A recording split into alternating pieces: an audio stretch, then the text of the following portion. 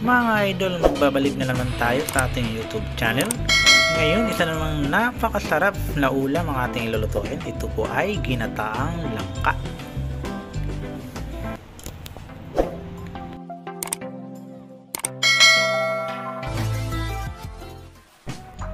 Ito ang pangunahing sangkap na ating gagamitin sa ating pagluluto ng ginataang langka. Mayroon tayong taba ng baboy, sipon at alamang.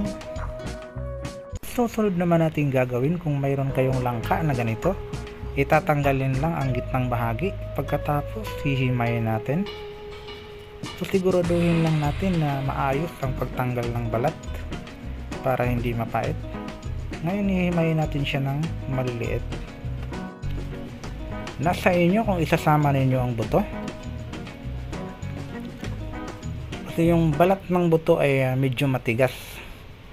Pero ang ginawa ko ay hinihiwa ko at tinanggal yung puti. Yan, yun yung balat ng buto. Yung matigas na pag niluto mo hindi lumalambot. Ngayon ito na lahat ng ating mga nalinis or nahiwa. Ngayon naman, huhugasan natin ng tubig para matanggal yung dagta. Ayan. Ngayon, ang susunod naman natin gagawin ay papakuluan natin siya para lumambot. Papakuluan natin siya ng pangalawang gata ng nyug. Ayan. Hindi natin siya pwedeng idirekta sa pagluluto ng gata. Dahil ang uh, langka ay medyo matagal lumambot. Kaya palalambutin lang natin ng kaunti bago natin lulutuin ng mabuti ayan kung mapansin nyo kumulo na siya haluin lang natin ng haluin para pantay yung pagkaluto niya ayan pwede na siya ngayon ang susunod naman natin gagawin ay tatanggalan natin ng mantika yung taba ng baboy ayan kung mapapansin nyo golden brown na So, ibig sabihin, luto na siya. So, isa ito sa mga masarap na sahog ng ating langka. Ng ating ginataang langka. Ngayon, tatanggalin lang natin. Ang susunod naman natin gagawin ay piprituhin natin yung hipon. Ayan. Isa to sa mga nagpapasarap sa ating ginataan. Ayan. So, napakasarap po ng ating ginataan. Kumplito po sa sahog. Ngayon, tatanggalin na natin. Luto na siya. Nasa inyo kung anong gusto nyong sahog maliban sa taba or sa hipon. Pwedeng daing na isda o fritong isda. Ngayon, ang susunod ko naman gagawin ay ipiprito ko yung bawang. Ayan, magpiprito lang ako ng kaunting bawang. Isa ito sa mga nagpapabango ng ating ginataan. Ayan.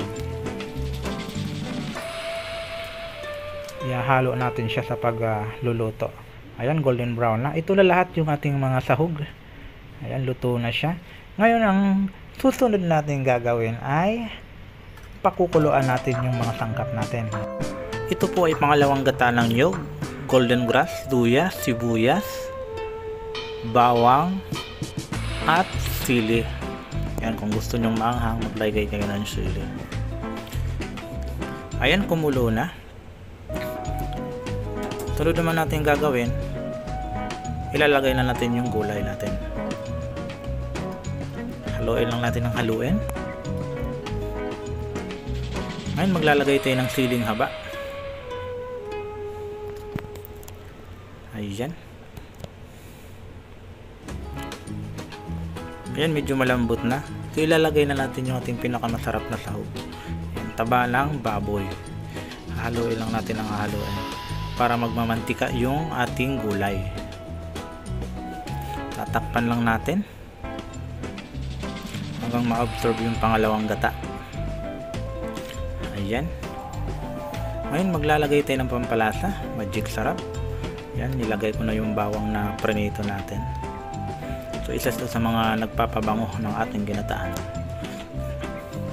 Yung pritong bawang.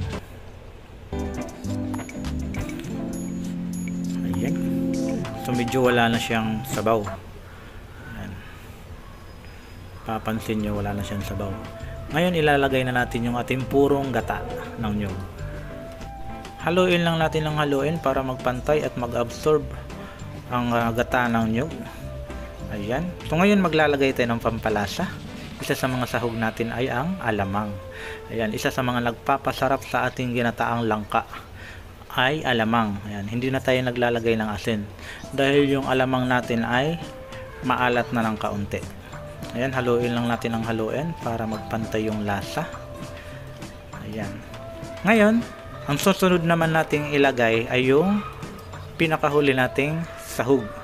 Isa sa pinakamasarap na sahog natin ay ang yan, yung prito natin na hipon. Yan, ilalagay na natin. Ayan.